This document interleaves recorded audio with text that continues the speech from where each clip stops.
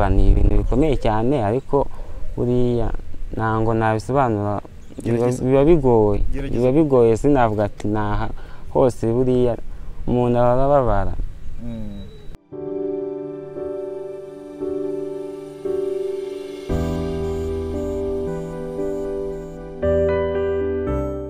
numva muri dushe ngo ntabwo nabyishoborera.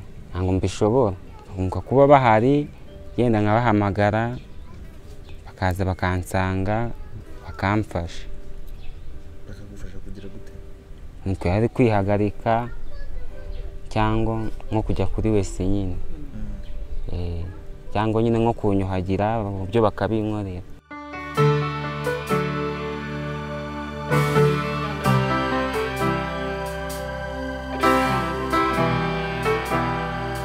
Sinavuga ngo nagerageza kuko natarabikora. Byo gutera akabariro. Eh. kuko ntabwo nari nashinga urugo kandi urabizi nyine gatera umuntu washinze urugo. Eh, Mm, uracyari imanzi se? Ndacyari imanzi nta na rimwe urabigerageza nta n'imwe nari nabigerageza Mm, ariko wiyumvamo ubwo bushobozi. Eh, mbwiyumvamo guhera njyewe maze imyaka makumyabiri n'umwe ariko ndumva ko ari njye muhungu w'imanzi nko ku isi yose.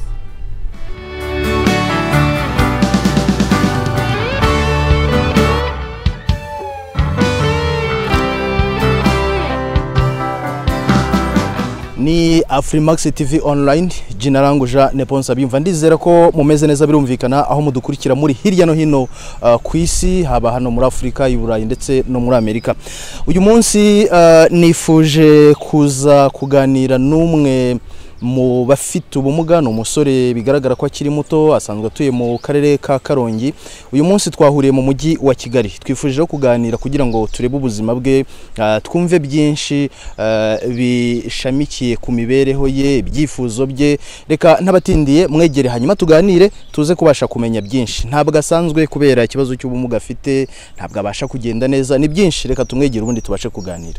Twa gitangaza emmanuel mu karere ka karongi. Umurenge wa ruganda.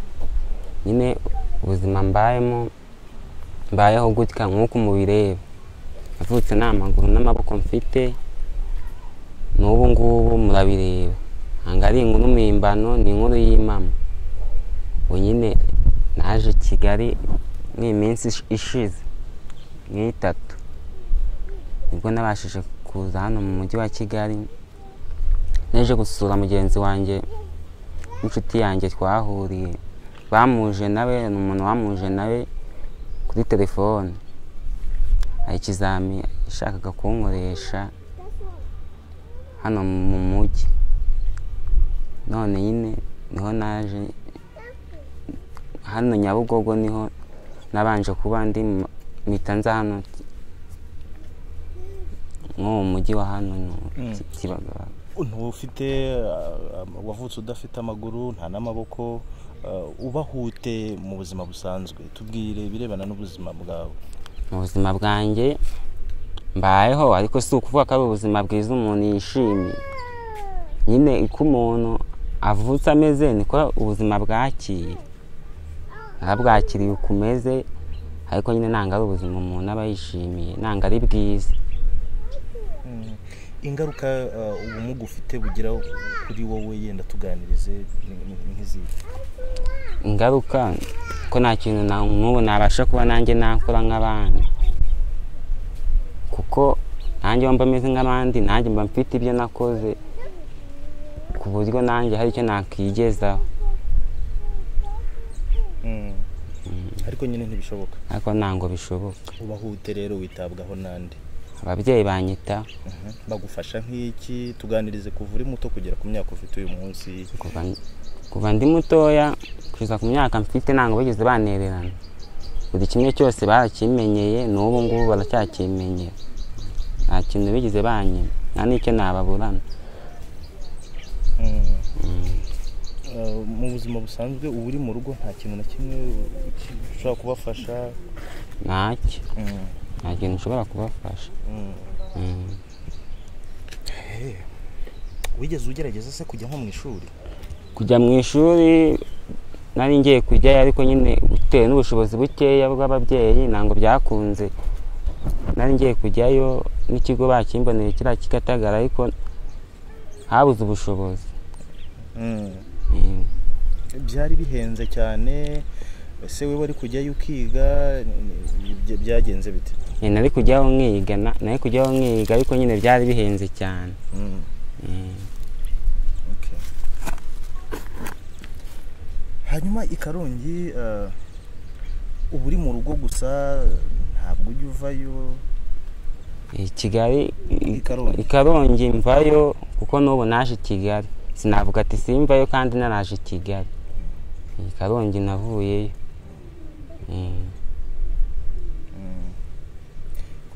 Ufite imyaka ingahe makumyabiri n'umwe. Mm.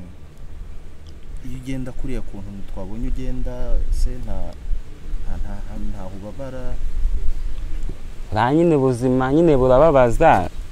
Ntabwo navuga ngo simbabara kandi ubuzima burababaza. N'ubundi n'abandi bose barabizi. Mm. ni nkaho uba ubangamirwa cyane. Nabonye ugerageza gukoresha amaboko. Uko ngenda kose ndabangamirwa. Gute? Kose uko- bigaragara mu mafoto. Mm. Ni nkaho uba wumva ubabara cyane iyo ugenda kuriya numva ni ibintu bikomeye cyane ariko buriya ntabwo nabisobanura. Biba- bigoye. Biba bigoye sinavuga ati naha hose buriya umuntu aba ababara. Mm. Mm. ariko wenda wahari nkaho waba wumva uvunika cyane ukaba watubwira. Naho. Naho. Hari nk'abantu se ujya uhura nabo ugasanga batagufata neza yenda bakakubwira nk'amagambo agukomeretsa yenda kuva uri muto hari ibyo bihe wigeze unyuramo na byo Mm? na byo Mm. Mu- buzima bwawe ni ibiki ubona ubura ni ibiki ubona ukeneye mu buzima bwanjye urabona nkeneye no kuba yenda nanjye nakwiga nkaba natura yenda nk'aho batuye kuko ntuye mu cyaro kibi. Cya nyuma nk'ahantu nko mu bishanga. Ahantu hifashe nabi ntabwo ari heza. Nta muhanda nta terambere. Kandi nanjye mba numva nagira nk'aho abantu bari urabona nk'ubu mba naje nanacitse n'ababyeyi. Natanu babwiye n'iyo ngiyo. Kugira ngo nanjye nze mbe nahura n'abandi mbe nanaganira nabo. Nyine nk'ibintu nk'ibyo ngo nanjye ndebe iterambere aho u rwanda rugeze. Ni ukuvuga ngo ababyeyi ntibajya bemera ko ugendagenda? Ntabwo bajya babyemera. Mm. Mm, ngo babyemera barabyemera. Nyine kugenda aho ngaho urumva ni mu bishanga umuntu nkanjye ntabwo wavuga ngo genda ujye mu gishanga. Mm. Eh, ntabwo babyemera. Baba bakeneye ko ugomba kuba uri mu rugo utahava. Baba bashaka ko nyine nanjye mba ndi mu rugo bakaza bakahansanga. Hanyuma nko mu buzima busanzwe ubu ushobora kujya nko muri dushe ukikarabya bigenda bite? Umva muri dushe ngo ntabwo nabyishoborera ntabwo mbishobora tuganiriza ukuntu bigenda rero. Baramfasha n'iyo ngiyeyo baraza bakamfasha. Gute dusobanurira uko bigenda?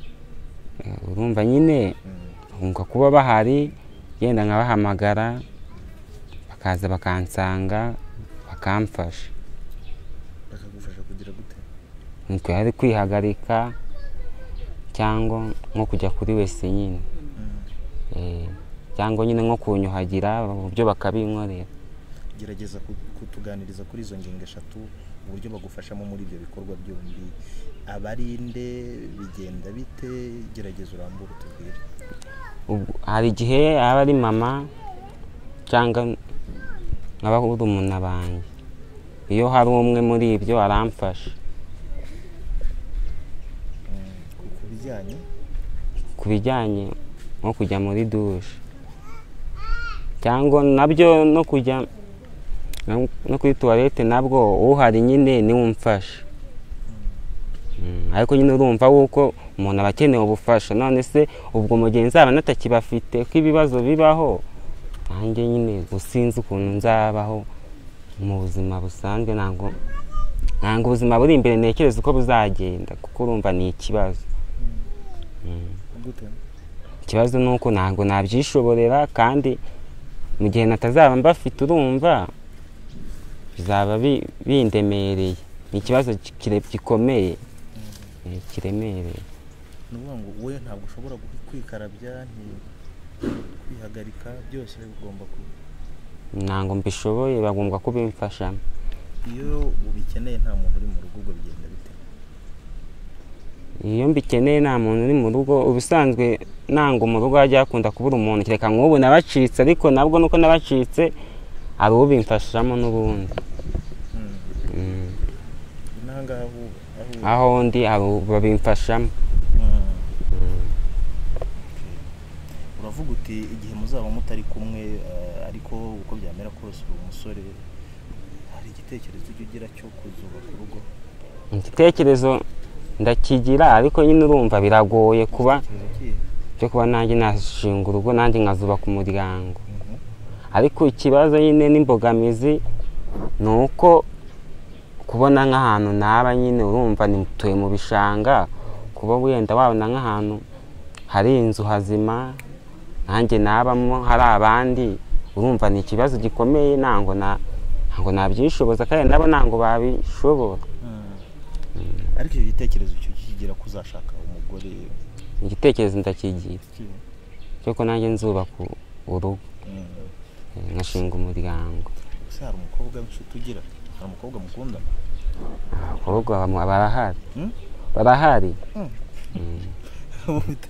Arahari mu- mukundana mujya muganira. Mm, arahari. Mm, arahari. Mm. Mu- mujya mubonana nka ryari? Atuye hehe atuye mu murenge wacu. Ese mu muganira ryari? Ese yaragusura? Ese uramusura twageze kuri ubu ku mubano wawe nawe. Aransura kandi nanjye nanjye njya nyuzamo nkamusura. Kuganira arampamagara Mm. nko kuri telefone Mm. aho nanjye nkamuhamagara tukaganira nta kibazo. Mm. Yaba ari wowe wamuganirije ku by'urukundo cyangwa ni we? Njye wamuganirije ku by'urukundo Mhm. Mm. ntabwo se waba hari uwigeze ubibwira akabyanga? Nawe. Ntabwo byigeze bikubaho? Ntabwo byigeze bimba. Ku birebana se nu- nu- n'ubushobozi busabwa kugira ngo umuntu yubake urugo yenda nubwo ufite ubumuga bwa bushobozi bw'abagabo nyine. Mm. ni tayari neza. Eh, ubushobozi nyine niyo mbogamizi ndi kuvuga kuko nk'ubundi ashobora kuba yanacaho bitewe nko kubura ubushobozi. Nk'uko ndi kuvuga Mm. ngo nyine nkumva nyine ngakomeza nkasigarira aho kuko ubushobozi ntabwo niyo mbogamizi nta bushobozi ntabwo ariko akabariro ushobora kugerageza.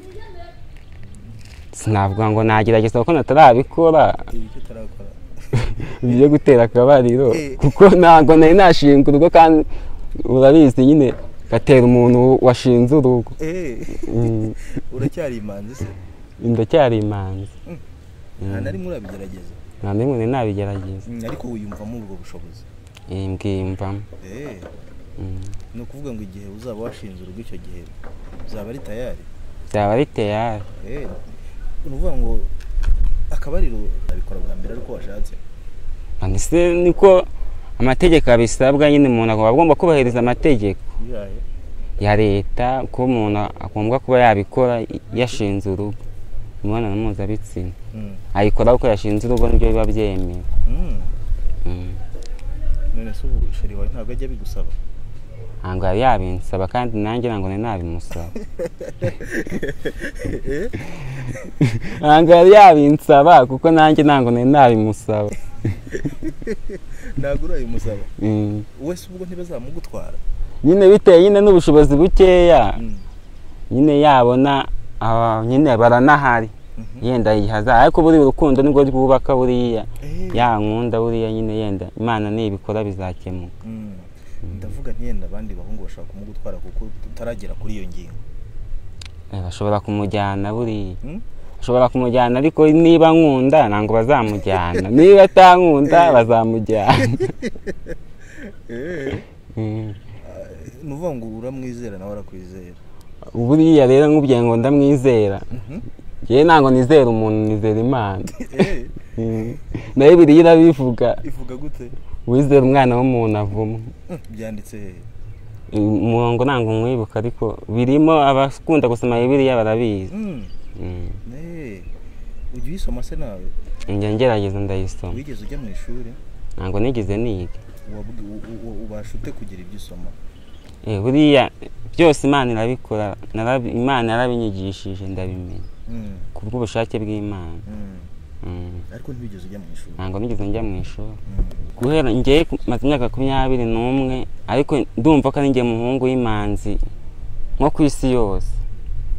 Ariko nk'ubufasha numva Nabona. hari abandi ujya wumva kuri iyo myaka bavuga ko baba barabikoze? Eh, barabikora bitewe yuko nawe imyaka cumi n'itandatu njya numva bagenda babyidoga babivuga ngo barabikoze n'ababikorerwa nabo bakabivuga.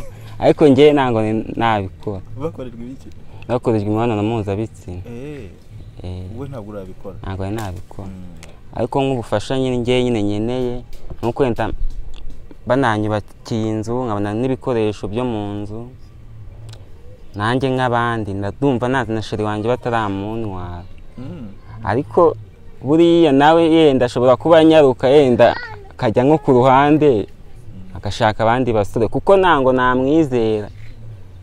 Ashobora kuba inyuma.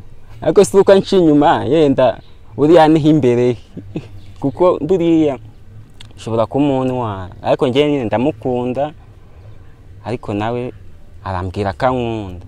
Kandi mu by'ukuri ndabibona ko ankunda Mm. ariko kuko nta bushobozi bwo kureba mu mutima we nshobora kuba mbeshya ariko ndamukunda rwose ndumva mbonye nk'ubushobozi rwose namuzana kuko ndamukunda cyane Mm. hari ikintu wari uvuze ntumvise neza ngo kuba guca inyuma ngo ubwo ni nk'imbere gerageza udusobanurire ikintu wari ushatse kuvuga buriya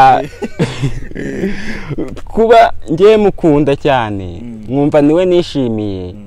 Wenda igihe atakinyishimiye kuko nta bushobozi Mhm. hari igihe yenda bamumenyera nko mu mufuka hari basanga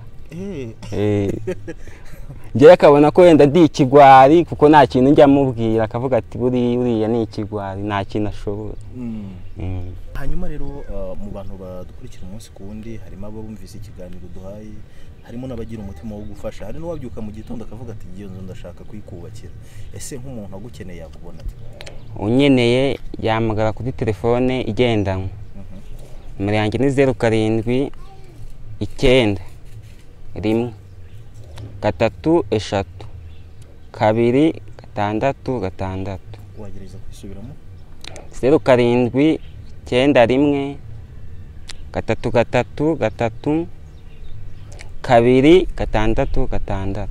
Yanditseho nde? Yanditseho gitangaza. Yitwa gitangaza emmanuel uh, ni umusore tumaze kumva neza ko atuye mu karere ka karongi ngo ni ahantu hatameze neza. Uh, mwumvise ibyifuzo bye mwumvise ibirebana n'ubushobozi uh, avuga ko abonye inkunga ikintu cya mbere yabanza gukora ni ukuba um, yazana uwo akunda bakubaka arahari. Ariko kuba nta bushobozi afite aravuga ati ashobora kuba yenda yakwigira n'andi cyangwa bagashobora no kuzamuntwara. Ngira ngo mwabyumvise sindi bubitindeho cyane. Mpamya nashidikanya ko mwumvise aderese ze kontakite n'ibindi. Uwagira uko ashoboye kose ashobora kuba yamwunganira ibyifuzo bye bikaba byabasha gushyirwa mu bikorwa. Mwakoze kudukurikira ni afurimax tv online. Gendi jeanne ponce abiyumva